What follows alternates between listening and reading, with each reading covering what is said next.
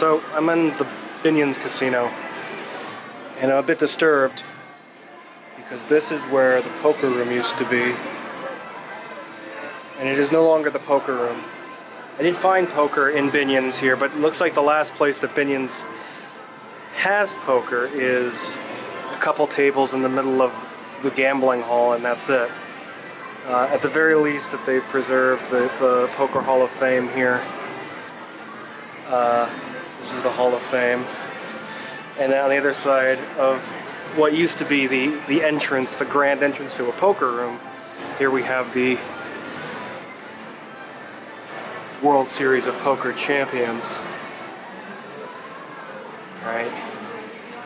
Doyle Brunson, Amarillo Slim being number one spot. And then down the line, including the modern champions, though even though they held it at the Rio, they are still here. But yeah, so empty. This is where the uh, the house would give you your table and organize tournaments, and then these stairs used to lead right into the poker room, which is now all slot machines and a virtual craps table that no one, like literally nobody, is playing.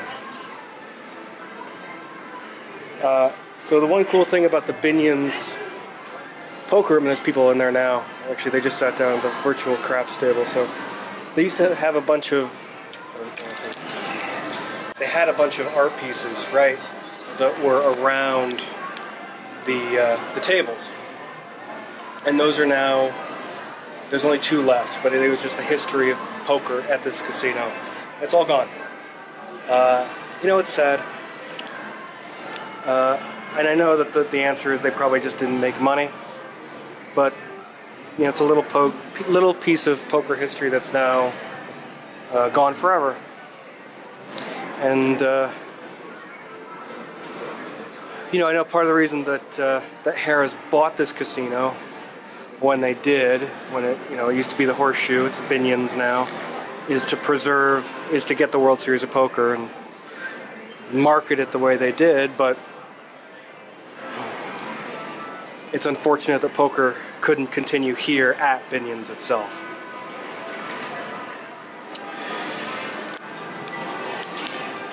You know, I, I, this is a nice place to come. I, I, played poker here just two years ago, and uh, being a, having been a big fan of poker during those like golden years in 2004, five, and six, it's I, am sad seeing what you know the, the quick rise of poker fandom uh, you know, which led to spending a lot of money around poker fandom, and now it's kind of in a sad state. As opposed to before it got famous, where it was always in this kind of mixed state of, yes, we will honor this, but nobody really cares, except for the people who do.